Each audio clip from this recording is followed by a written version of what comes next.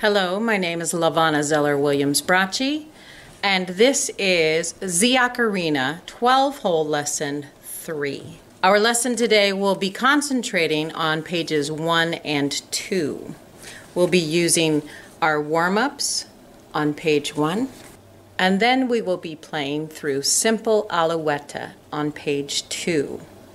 This is a rewrite of the song Alouette.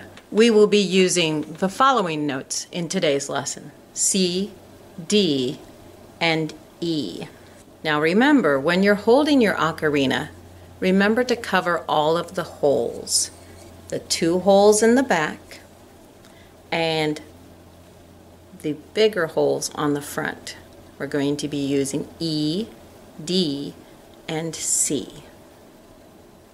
Let's start with a few warm-ups and have fun today. Good luck. Welcome to Z Ocarina 12 hole lesson 3. Be prepared to play C, D, and E today. Our featured song is Simple Alouette. Let's get ready to play our first warm up. One, two, ready, here we go. C, D, E, D, C, D, E, D, C, D, E, D, C, E, C, and rest. Now let's invert our warm up and start with E this time. One, two, ready, here we go. E, D, C, D, E, D, C, D, E, D, C, D, E, C, E, and rest. Feel free to stop the video and repeat those warm-ups if you like.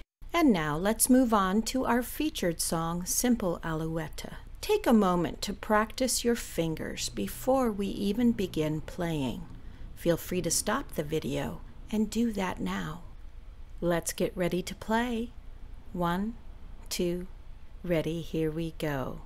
Alouette, simple alouette, ocarina, learning how to play. How did it go? It's okay to stop and practice again if you need to. Let's play it again. One, two, ready, here we go. Alouette, simple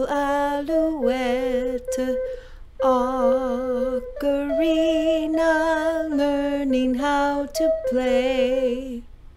Hey, you got better, didn't you? Let's do it one more time, just for fun. One, two, ready, here we go. Alouette, simple alouette, Ocarina, learning how to play. Thank you for joining us once again. This concludes our lessons using C, D, and E in the Z Ocarina 12-hole instruction video series. In our next lessons, we will be moving on to notes G, A, and then F.